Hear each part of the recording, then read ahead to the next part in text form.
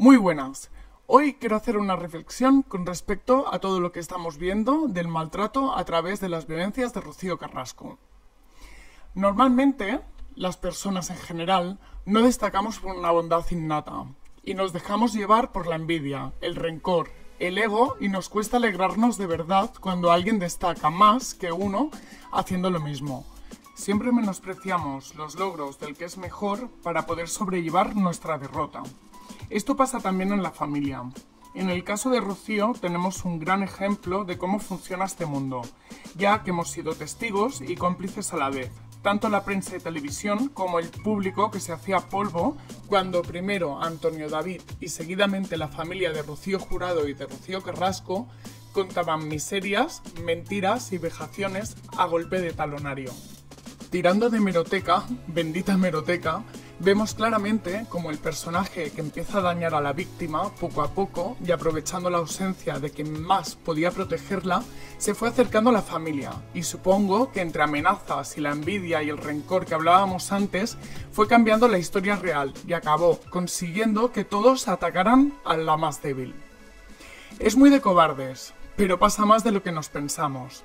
A ver, esto suele pasar, suelen poner en contra a la mayor gente posible mintiendo, dando pena y dejando caer que el que más sufre es él, que la víctima es él. Por suerte, en este caso, la hemeroteca demuestra un cambio radical del discurso y los que antes decían A, ahora dicen B.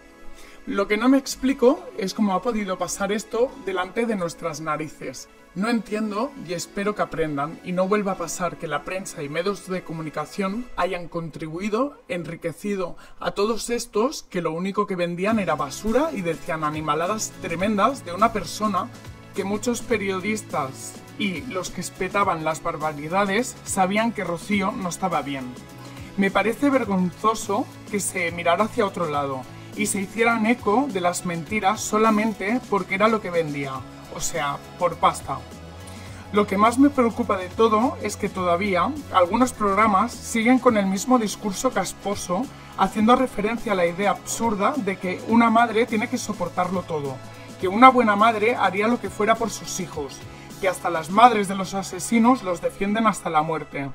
Y no, no señores y señoras, las madres son personas no sacos de boxeo. Las madres son mujeres que dan la vida y son sagrado. Y quiero dejar claro que una víctima tiene el derecho y el deber de salir adelante. Y que una víctima que sale e intenta remontar no es menos víctima, solo está ejerciendo su derecho a la vida. Por ellas.